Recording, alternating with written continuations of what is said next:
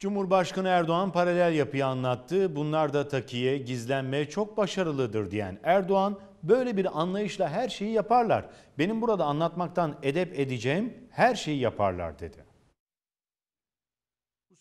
Cumhurbaşkanı Erdoğan, Cumhurbaşkanlığı Sarayı'nda Türkiye Genç İş Adamları Konfederasyonu üyelerini kabul etti.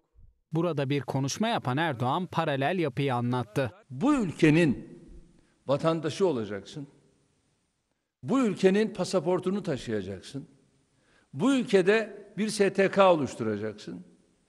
Ondan sonra da gideceksin Avrupa'da, Amerika'da, şurada, burada Türkiye'nin aleyhinde kampanyalar sürdüreceksin.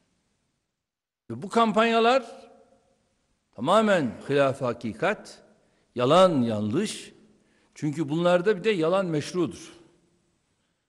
Bunlarda takiye, gizlenme çok başarılıdır. İleri derecededir.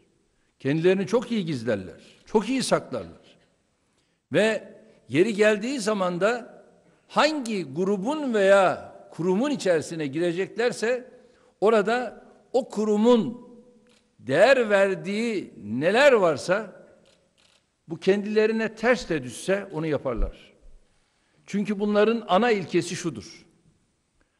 Amaçları uğrunda her şey meşrudur. Böyle bir anlayışla her şeyi yaparlar. Benim burada anlatmaktan edep edeceğim her şeyi yaparlar. Düşünebiliyor musunuz? Her türlü tehditle haraçlar toplanabiliyordu. Her yerde. Maliyesinde, yargısında, öyle mi? Emniyetinde, her türlü. Eğer yargıya bir işin iş düşmüşse e, bunun halli için bunların avukatlar zinciri her tür işi çevirebiliyordu.